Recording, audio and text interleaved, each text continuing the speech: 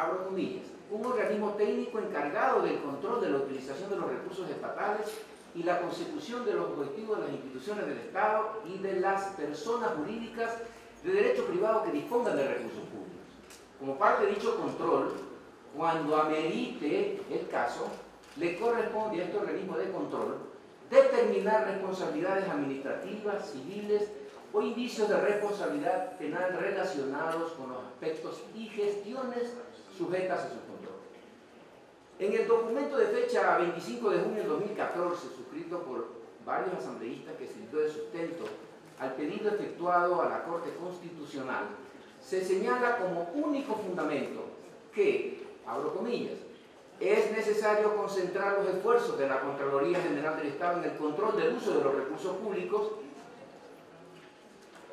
del Estado por parte de las entidades del sector público y de las entidades privadas que dispongan de recursos públicos, evitando duplicar esfuerzos con otros organismos que también tienen como función verificar el cumplimiento de los objetivos y gestiones de cada entidad del Estado.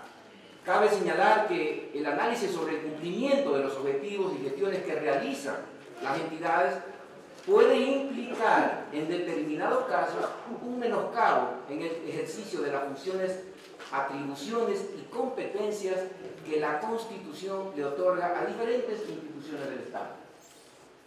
En virtud de aquello y en mi calidad de Contralor General del Estado, Oportunamente, señor presidente y señores asambleístas, comparecí ante la Corte Constitucional y por escrito y de manera motivada hice conocer a dicha entidad los argumentos fácticos y técnicos por los que en nuestro criterio no solo que los cambios propuestos son improcedentes, sino que son técnicamente inviables y alteran gravemente la estructura del control de los recursos públicos y por tanto las competencias de este organismo de control.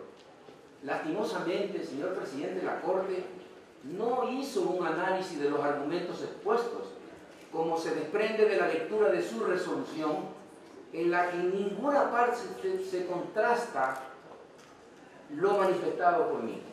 Y más aún, hierra la Corte al referirse a la función de Contralor del Estado como la de un juez de cuentas. Algunos asambleístas, a través de los medios de comunicación, también aún la propia Corte Constitucional, consideran sin fundamento que mantener la actual competencia de la Contraloría General podría afectar al Plan Nacional de Desarrollo y las competencias constitucionales establecidas a través del Sistema Nacional Descentralizado de Planificación. Y miren ustedes nada más errado, porque en resumen y debido a lo corto de tiempo para esta comparecencia, corresponde a ustedes analizar básicamente dos temas importantísimos. Primero, ¿cuáles son esas entidades a quienes la Constitución les ha atribuido las competencias para analizar el cumplimiento de los objetivos de las instituciones del Estado? Y de haberlas, ¿cómo el análisis que efectúa la Contraloría del Estado puede menoscabar las competencias de aquellas? De ese análisis se desprende que no hay otra entidad que la Constitución haya asignado las competencias que se pretenden eliminar de la esfera del control de los recursos públicos.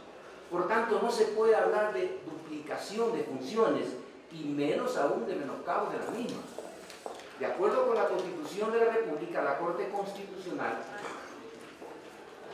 con la resolución de la Corte Constitucional, existiría una indeterminación en la frase la consecución de los objetivos de las instituciones del Estado que forma parte del artículo 211 de la Constitución, la que, entre comillas digo, podría, dice la Corte Constitucional, según el razonamiento de ella, generar una obstaculización con el Sistema Nacional Descentralizado de, Planificación Participativa. No obstante aquello, es solo un supuesto y no ha sucedido en seis años, señores asambleístas, de investigación de la actual ah, Carta Suprema como lo reconoció enfáticamente aquí el día lunes 17 de noviembre, el secretario nacional de Planificación, Pavel Muñoz, ante esta comisión legislativa y dice, y no existen por cuanto las competencias de las entidades del Sistema Nacional descentralizado de Planificación y las de la Contraloría General del Estado son completamente opuestas, diferentes.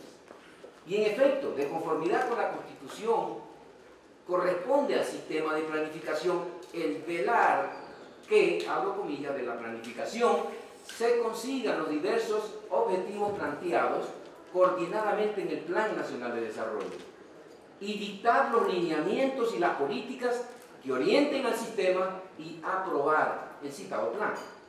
Contrariamente a aquello, la Contraloría General del Estado no fija los objetivos, ni metas, ni plan nacional, ni los lineamientos de aquel por la planificación estratégica de las instituciones del Estado, pero sí verifica como parte del control gubernamental el uso de los recursos públicos que las entidades tomen medidas justamente para cumplir esos objetivos por ellos establecidos.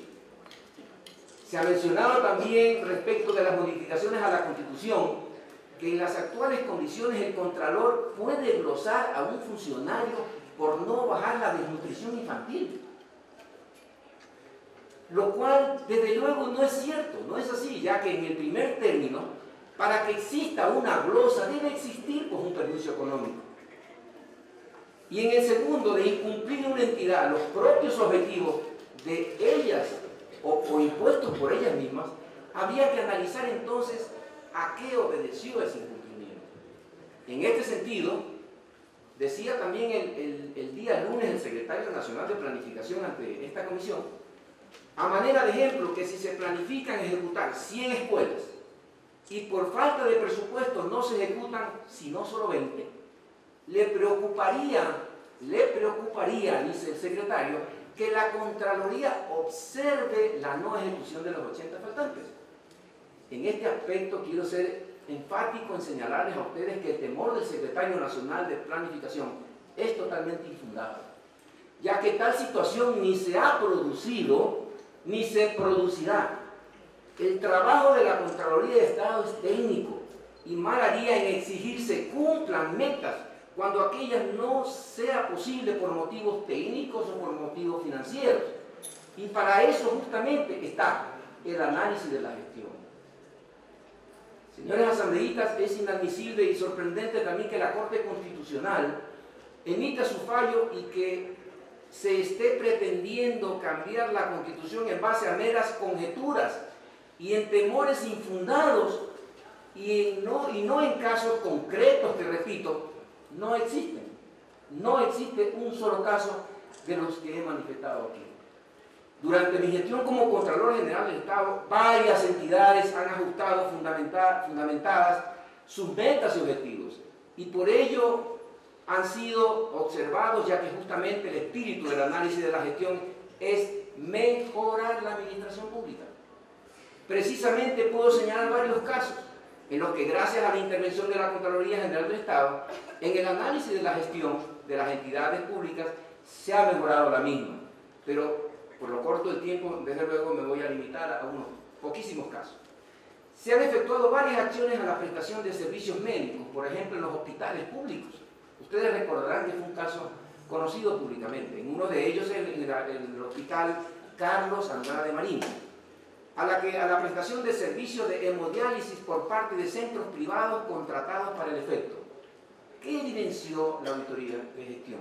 Se evidenció que se reutilizaron los filtros y las líneas hasta 3.24 veces en promedio, un número mucho mayor a lo establecido en las cláusulas contractuales y en las normas y requisitos internacionales generándose, aparte de los evidentes problemas de la salud a los usuarios del sistema, que fueron de dominio público, pagos en exceso por cuanto no existió supervisión adecuada, ni controles periódicos oportunos para verificar la, la reutilización de estos insumos.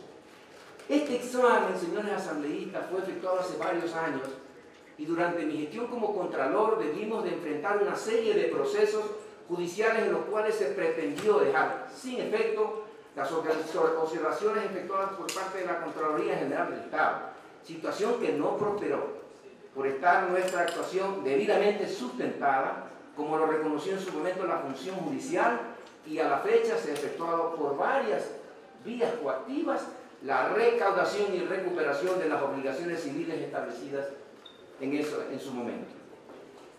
Me pregunto yo, ¿habría pasado, ¿qué habría pasado de no haber actuado la Contraloría en este caso de tanta importancia, especialmente para la salud?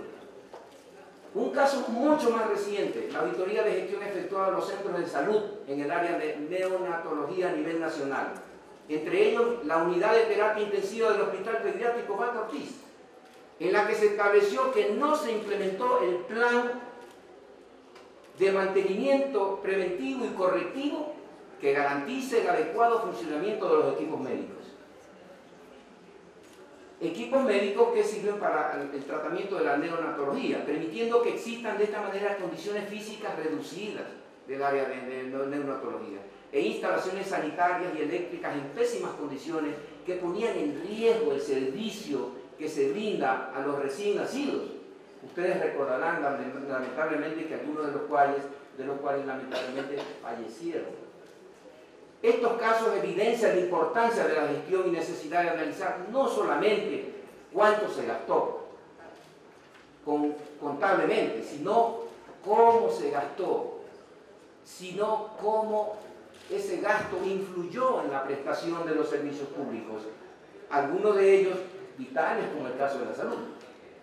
De estos exámenes referidos se formularon en los informes de las auditorías correspondientes las recomendaciones encaminadas a mejorar la gestión y garantizar la prestación del servicio por parte de los funcionarios públicos, evitando la repetición de las situaciones evidenciadas por la auditoría. También se ha dicho por parte de algunos eh, funcionarios o, o otros sectores políticos o de la sociedad civil sobre los temas del control en los GATS, que debe estar confiado, dicen, a los concejales o consejeros. Al respecto, si bien es facultad de los édiles fiscalizar la actuación de los administradores locales, es equivalente al que la Asamblea Nacional debe ejecutar respecto de los funcionarios señalados en el artículo 131 de la Constitución de la República. Es decir, un control político, pero no enfocado en el uso de los recursos públicos.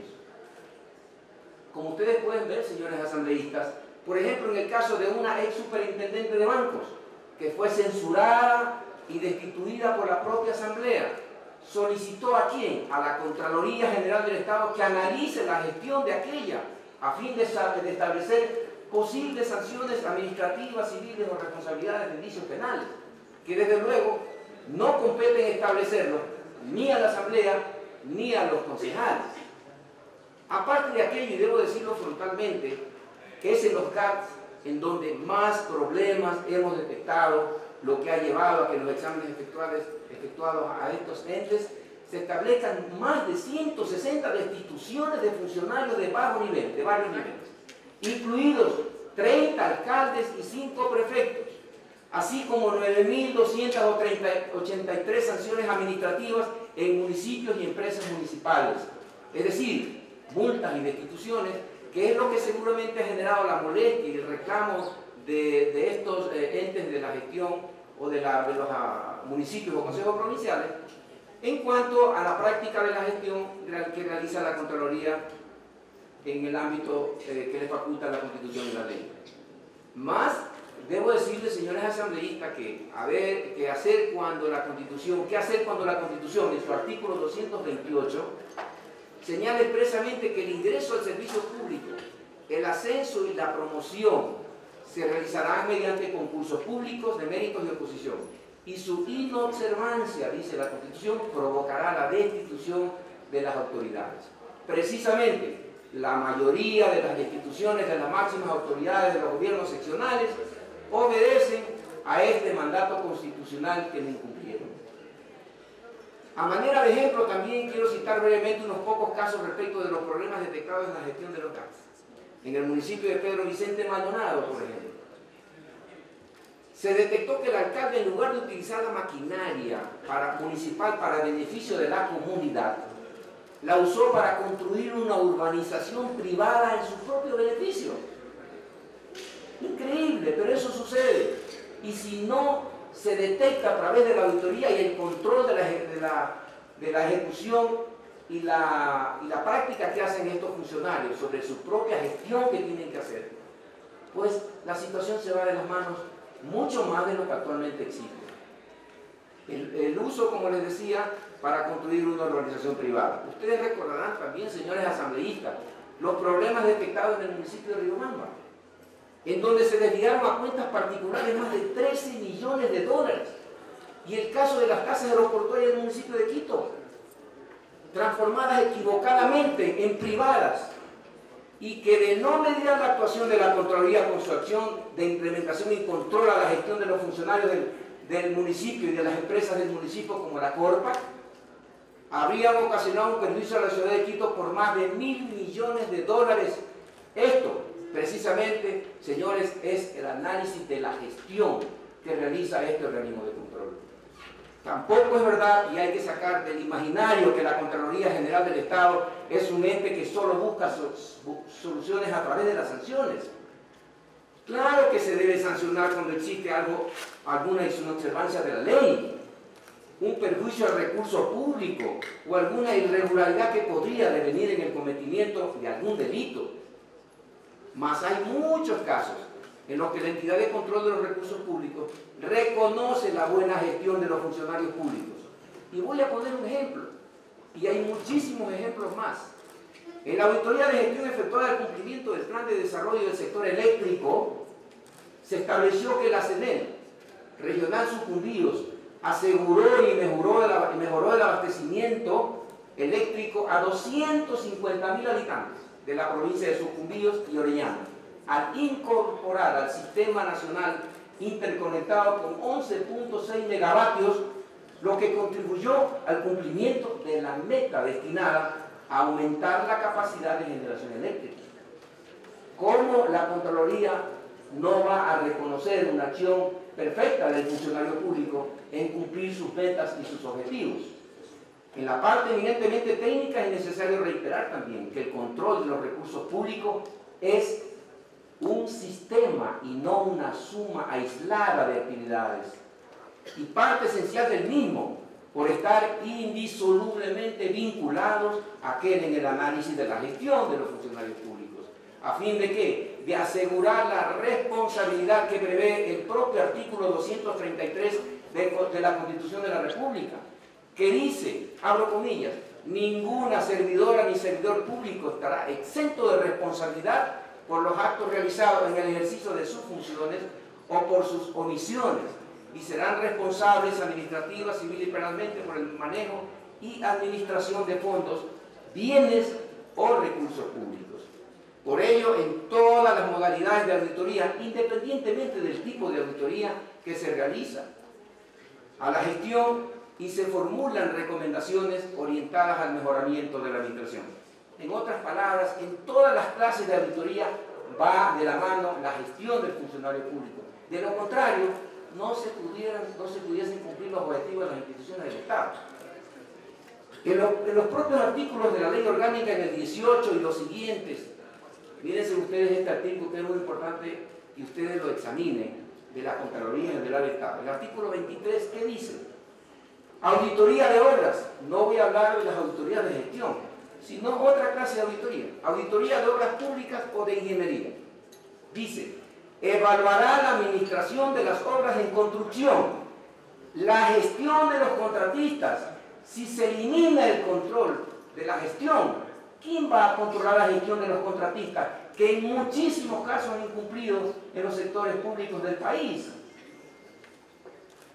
Entonces, el manejo de la contratación pública, también dice este artículo, mira la eficacia de los sistemas de mantenimiento, el cumplimiento de las cláusulas contractuales y los resultados físicos que se obtengan en el programa o, proyectos específicos sometidos a cada examen. Las competencias asignadas por la Constitución de Montecristi a la Contraloría General del Estado responden a un proceso de construcción de un sistema de control externo cuya evolución en más de 85 años de servicio se ha adaptado al devenir histórico tanto del país como a nivel internacional.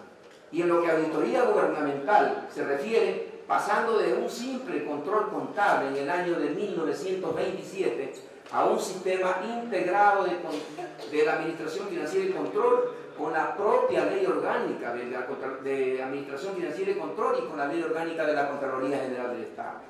¿Con el fin de qué? De precautelar la efectiva y eficiente administración de los recursos humanos, materiales y financieros, controlar también oportunamente los fondos fiscales y satisfacer las necesidades del servicio público y del propio desarrollo del país. El control, señores asambleístas, de los recursos estatales no se limita solamente a la verificación contable de aquellos, que es donde regresaríamos si esto sucede. Si se aprueban las reformas o los cambios en los términos propuestos, es decir, para mí retrocederíamos aproximadamente 40 años en evolución del control gubernamental, señor presidente. Aparte de aquello, seríamos el único país del mundo que no tendría asignado a la Contraloría de cada país el análisis de la gestión como parte del control de los recursos públicos. Como lo tienen todos los países, y voy a citar algunos, pero todos los países del mundo lo tienen.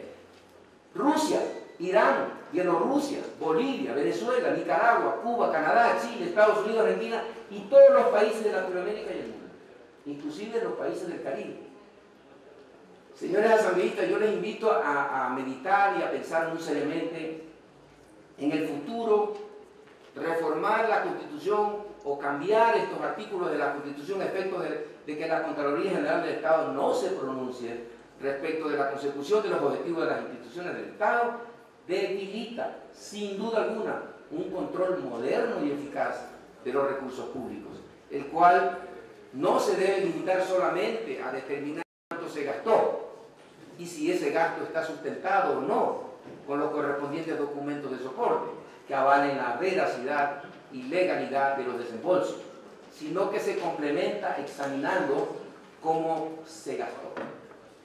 Y por tanto, si la obra o servicios públicos están prestando los beneficios también esperados y establecidos por los propios administrados.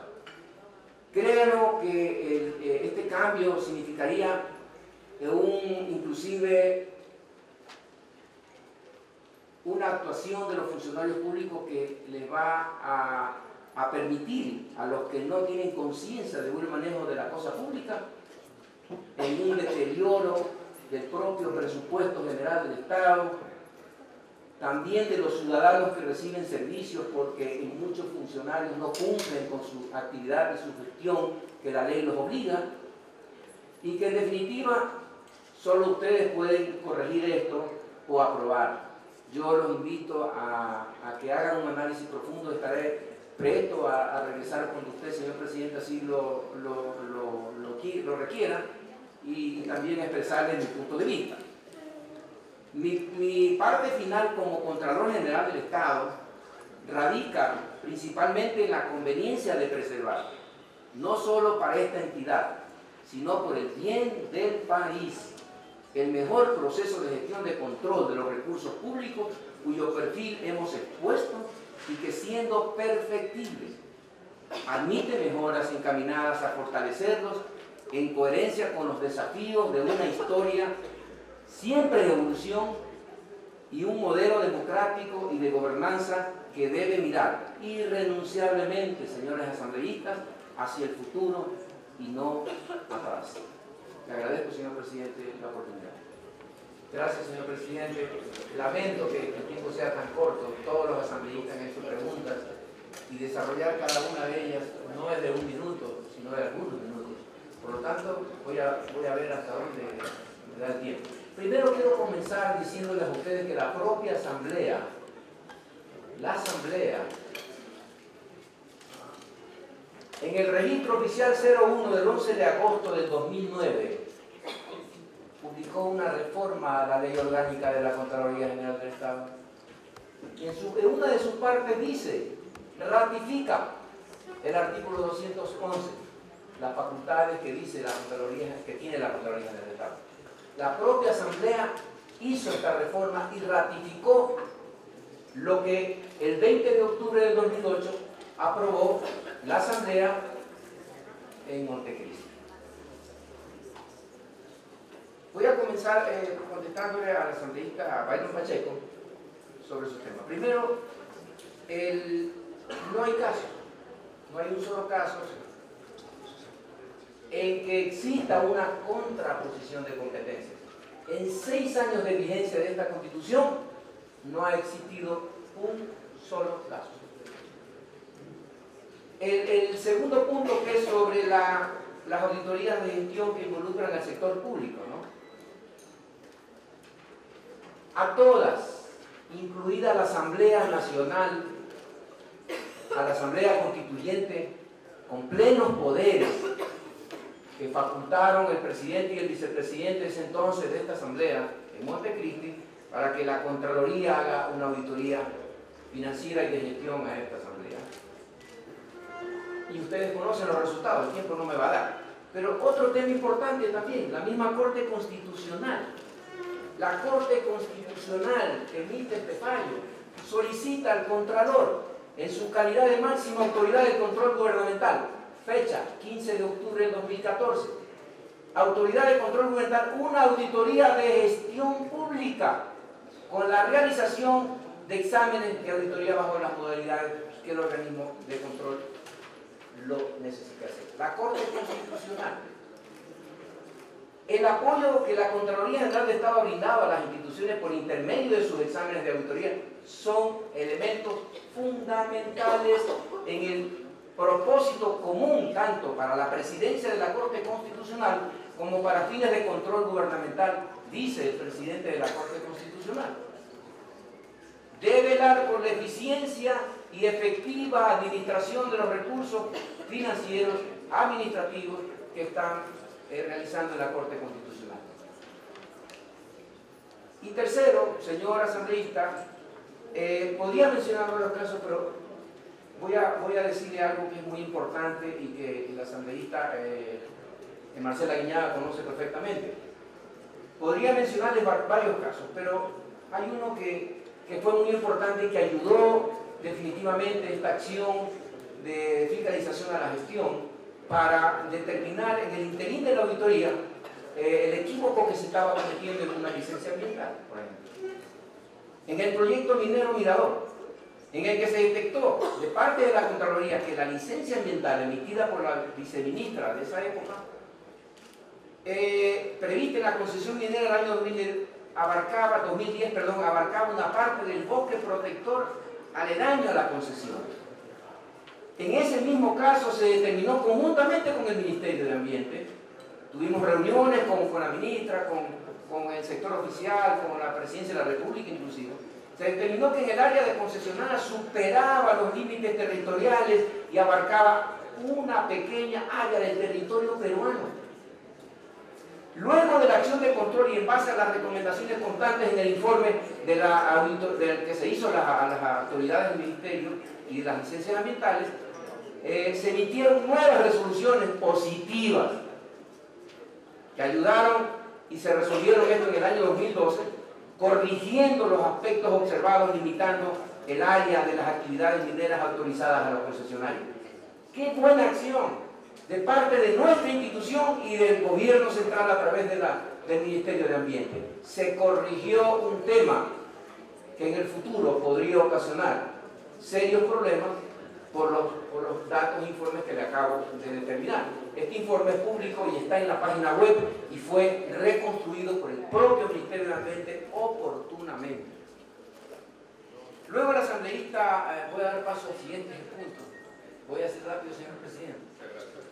Eh, solo la respuesta. Eh, la gestión la gestión abarca a todas las modalidades del control como lo vine manifestando anteriormente. Y el cambio afecta a todas ellas, a todas y cada una de las auditorías que están determinadas en la Ley Orgánica de la Contraloría General del Estado y que están, como le leí, el artículo 23 de la ley.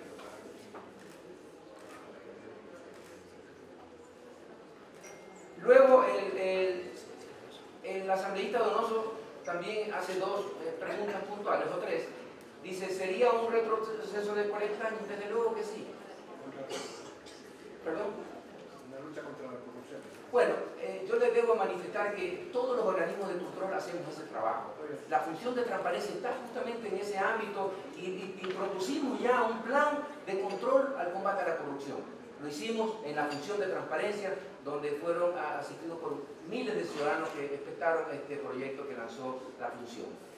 Eh, el segundo punto sería, claro que sería debilitar el sistema de control. Así es.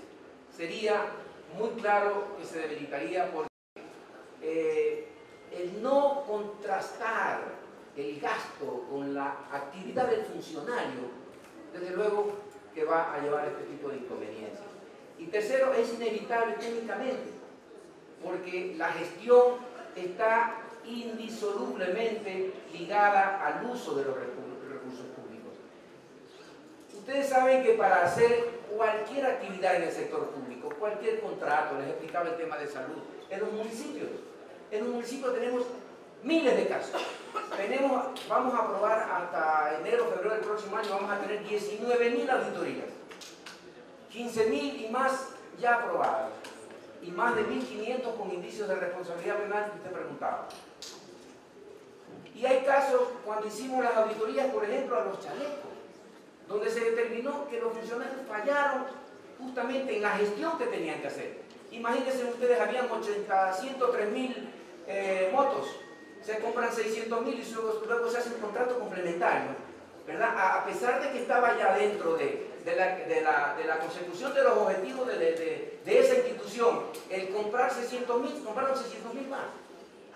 Entonces, ¿dónde estuvo la gestión del funcionario público? Que esos mismos ya no se usan y está, como ustedes ven, ligada la gestión con el manejo de las cosas públicas, del recurso público. No se puede separar, porque si no, jamás podríamos determinar que el funcionario no cumplió con su gestión, que era el de comprar lo que exactamente tenía que comprar, las 103.000 o 110.000 motos que estaban, que tenían que entregarse cada un chaleco cada uno. Pero no, sin embargo, se pagó 1.200.000. El asambleísta Rivera le pregunta sobre las 820, hay, existen, como usted sabe, yo le envié la información, 820 auditorías de gestión. 796 aprobadas y una es una o dos o cinco o diez. Créanme, es importante. Y es el 10% del resumen total de las auditorías que ha hecho la Contraloría General de Estado en el ámbito de eh, auditoría de gestión y exámenes especiales a la gestión. Son el 10%. Es suficiente porque si no, me voy a hacer el 100% de auditoría de gestión, ahí sí voy a presionar al sector público solamente en el control de la gestión. Sin embargo, en todas las auditorías que hacemos van acompañadas la consecución de los objetivos que esa entidad se propuso hacer.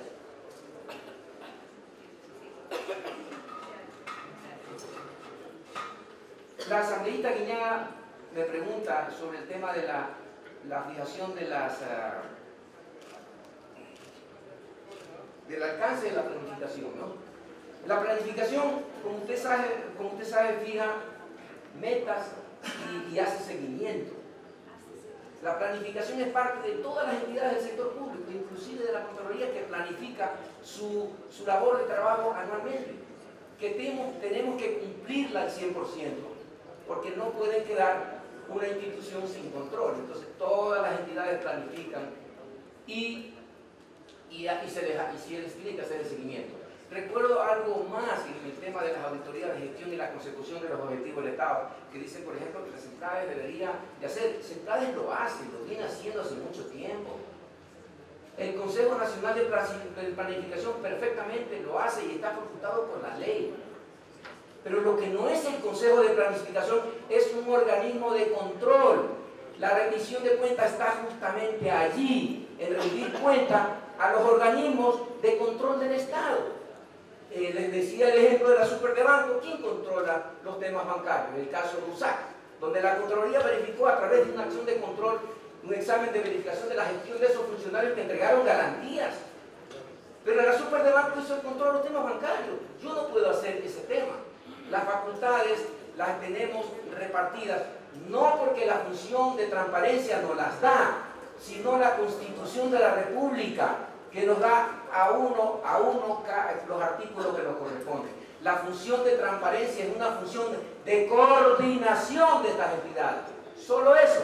y tiene que emitir justamente eh, temas sobre el control y el combate a la corrupción, que lo hemos hecho perfectamente con todas estas funciones del Estado que están en este plan, en esta quinta función del Estado que es la de coordinación. La, la asambleísta justamente me preguntaba un tema que es importantísimo. Nosotros hicimos una auditoría de gestión, por ejemplo, a la Corte. Los presidentes de la Corte nos han pedido auditoría de gestión al sector oficial, al sector de la justicia. ¿Y qué determinamos en Guayaquil? Ustedes conocen las irregularidades de los jueces que tenían dentro de los cajones procesos por años y muchos de ellos entraron en caducidad inclusive. Esos fueron revelados y fueron sancionados muchos jueces protestaron porque la Contraloría no tenía capacidad. Sí teníamos capacidad y solicitada por la propia Corte. La propia Corte de Justicia. Los presidentes de la Corte nos han pedido en muchas ocasiones acciones de control en este ámbito administrativo. Las quejas, cuando van al Consejo de la Judicatura, hay que diferenciarlas. Son quejas que se presentan al, Consejo de la Judicatura sobre la práctica que han hecho los jueces. Nosotros no tenemos nada que ver en eso. Jamás nos vamos a, vincular en, el mismo ámbito del control de estas dos entidades. Y nunca ha pasado en seis años ya. Entonces es una respuesta muy clara y muy eh, entendible de que no se han interpuesto en las instituciones del Estado. Lo mismo lo dijo el secretario nacional de planificación hace pocos días. Entonces, en los temas disciplinarios, que es lo que ven las quejas ante el Consejo de la Judicatura, lo resuelve el Consejo de la Judicatura, no el Contralor. El Contralor sí audita los recursos públicos del Consejo de la Judicatura, que es diferente a las quejas de los jueces. Yo no tengo nada que ver con los jueces en ese aspecto, absolutamente. Entonces nunca se van a contraponer estas dos instituciones. En cuanto a, al asambleísta Alvarado, eh, me preguntaba usted que, perdóneme, pero que fue tan y tan rápido que no es tan fácil, ¿no? Y además que el tiempo que da el presidente parece que es muy difícil. solo un punto de información, señor Contralor. Vaya que a mí me corresponde dirigir la sección y uso esa prerrogativa con toda la legitimidad. Eh, tenemos luego una comisión donde vienen tres autoridades más también en comparecencia. Por eso. Gracias, señor presidente. Disculpen un poquito para salir de eso. La, la, diferencia que usted me decía sobre la actividad que hace el, la Central, por ejemplo, yo creo que ya el secretario fue clarísimo en explicar, pero no tiene nada que ver lo que hace Central con lo que hace la Contraloría. Son totalmente separadas, la constitución es muy clara eh, muy bien hecha en Montecristi y aprobada por el pueblo y por ustedes, en que eh, las actividades están plenamente eh, indicadas a la facultad de cada una de estas instituciones. Las centrales como una oficina o como una entidad del Ejecutivo tiene que hacer su labor de acuerdo al plan que el Ejecutivo impone a través de estos organismos. Entonces, ¿cuál es el organismo que el Consejo de Planificación es el organismo fundamental que tiene su propia ley para emitir. Entonces, las diferencias son que la Contraloría es un organismo de control y ellos son una función del Ejecutivo que hace su labor ejecutiva y que tiene que rendir cuenta a los sectores que corresponden, por ejemplo, a la Contraloría General del Estado. Yo le voy a citar un ejemplo del Ministerio de Recursos Naturales No Renovables, al cumplimiento de las metas y objetivos institucionales y estratégicos y su alineación al Plan Nacional del Buen Vivir. Mire usted lo que pasó aquí. El coordinador administrativo financiero, dice la conclusión del informe, en calidad de delegado al Ministerio, suscribió un contrato con un consultor para la elaboración de un estudio y generación de composición de indicadores para el GPL, ligado a la actividad de cada subproceso y proceso global la contratación se realizó a pesar de la prohibición emitida por el subsecretario de Gestión Estratégica. Miren ustedes, un funcionario inferior le incumple la autoridad, a la autoridad nominadora de ese, funcionario. Y entonces, en innovación que se da de la Presidencia de la República en el oficio SIGE 011-0094 el 21 de junio de 2011, el producto generado no fue puesto en conocimiento del equipo metodológico del Ministerio de Recursos Naturales no renovables como sugirió el consultor.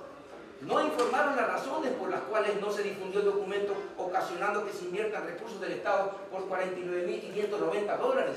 masiva en un contrato de consultoría cuyo resultado no generó un valor agregado para la entidad.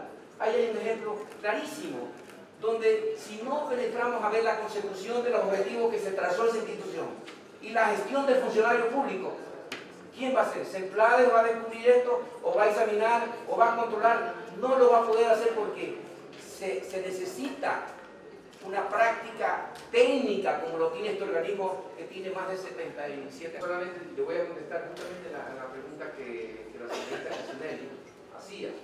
Si hay una indeterminación, aclaremos, pero sin restar competencias a la Contraloría como de hecho sucedería. En este cambio que se solicita y que la Corte dio su aprobación, se elimina, se elimina, como muchos asambleístas lo han dicho públicamente, hemos pedido la eliminación de esta parte de este artículo. ¿Eso significa enmienda? ¿O enmienda es proporcionar ese artículo muchos más factores de fuerza, de contundencia, de calidad, para mejorarlo justamente en el control de los recursos del Estado? Entonces, si no se- se- se fortalece, la cosa cambiaría. Pero al hablar de eliminación, usted está cortando algo, ¿no? Para mi entender. Otra lo Ustedes son- interrumpo, sé que ya está concluyendo, pero le doy un punto de información que me solicita la asambleísta Marcela Pero, Aguilar. solo, solo terminaré. Usted ya termina. Punto de información, asambleísta Marcela punto, un Aguilar. punto de información, señor Contralor, porque usted manifiesta aquí de que la Corte ha dado paso y ha aprobado prácticamente. Comentarle que lo que ha hecho la Corte Constitucional es dar la vía de que esto es una enmienda. Será la Asamblea Nacional, de conformidad con sus atribuciones, que en un momento determinado, de ser el caso, luego de 14 meses, se tomará la decisión que tenga que ser. Solamente. Gracias. Termina el punto de información. Puede concluir, señor Contralor. Eh, por último, a, la asambleísta Roselvira, eh, eh, que, que preguntaba sobre cuántas auditorías de, gestión hemos hecho. Hemos realizado, como decía anteriormente, 820. De las 15.000 y algo aprobadas, y en, y en campo estamos haciendo, inclusive, como les decía, a la propia Corte Constitucional, una auditoría de gestión. Están en proceso 4.000 y tantas más, creo que el señor asambleísta Gabriel Rivera conoce eh, perfectamente que le envíe ese dato, pero son 820 auditorías, que es el 10% de todas las acciones de control que hemos realizado en el sector público en general. Señor presidente, muchísimas gracias.